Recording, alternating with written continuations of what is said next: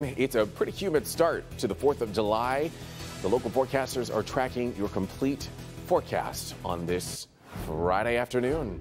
And that is where we begin this afternoon. Meteorologist Brandon Roux is standing by, and you, you look very warm, Brandon, to say the least. well, I've got uh, the bright sun, the brightest of all lights, just beaming down.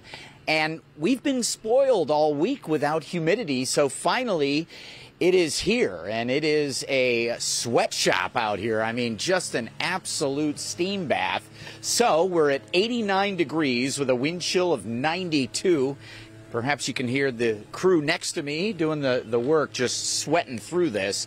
We've got humidity up with northwest winds, a little unusual, but uh, just dragging in some moist, humid air, and our feels like our heat index temperatures primarily in the low to middle 90s out there already. So we're going to hit 92 today with the increase in heat and humidity. The feels like temperature closer to 95, 96. So the obvious advice hydrated, lots of water, Gatorade kind of thing, uh, light, loose fitting clothes. Also recommending the Local 4Casters app today to keep an eye on those temperatures, but also a few isolated pop ups through the mid or late afternoon with the heat of the day. And if you're boating, golfing, anything like that, that Local 4Casters app will keep you ahead of the storms with interactive radar.